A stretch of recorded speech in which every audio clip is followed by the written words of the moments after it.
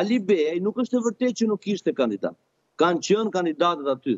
Nuk është e vërtetë as që ka patur lëvizje taktike për të mos mbjell përçarje. Edhe kjo është gënjeshtër që e thonë grupi Alibeaj për të mos vazhduar më tej përçarjen që po ndodh.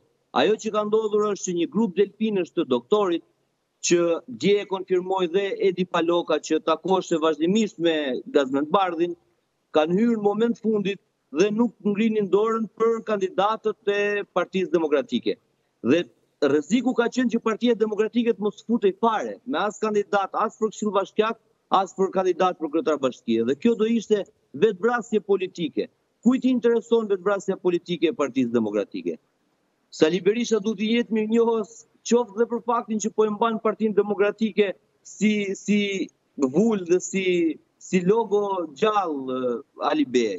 Kështu që lufta e Berishës po. edhe pse unë e mirëkuptoj, është një luftë e cila i ka funksionuar për fatin e tij të mirë, bravo i qoftë, është usta i kësaj pune, ka futur disa delfinë të tij dhe atje që i ka patur përherë ndoshta me zotin Bardhi, me zotin, zonjën Tabaku, kështu me radhë, dhe ka sabotuar Alibeajn.